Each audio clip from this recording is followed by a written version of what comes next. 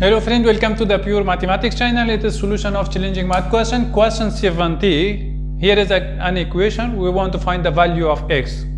You know, uh, from this equation we want to find the value of x.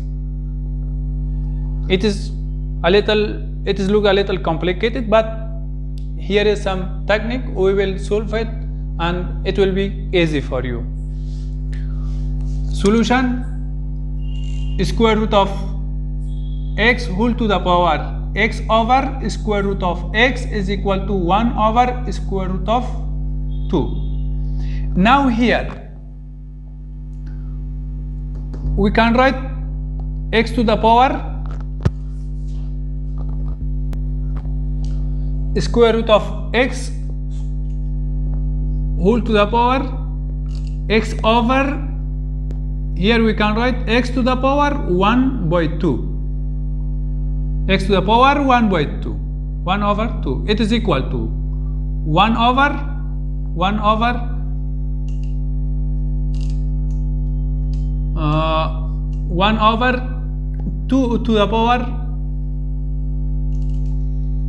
1 over 2 now here square root of x whole to the power we can write by by using the rule of x uh, power we can write x to the power 1 minus 1 over 2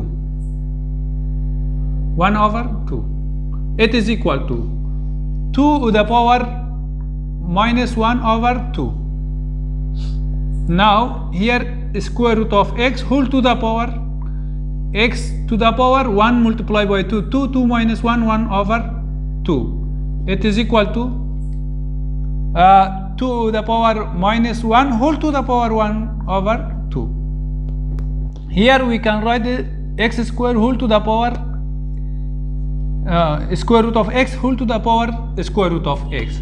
Then it is equal to we can write here 1 over 2 whole to the power 1 over 2. Now if we consider square the base is equal to the base and uh, exponent is equal to the to the exponent. Therefore we can write the square root of x this implies the square root of x is equal to 1 over 2 we write both sides by uh, 2 then we get x is equal to x is equal to 1 over 4 it is the value of x. The value of x is equal to 1 over 4 thank you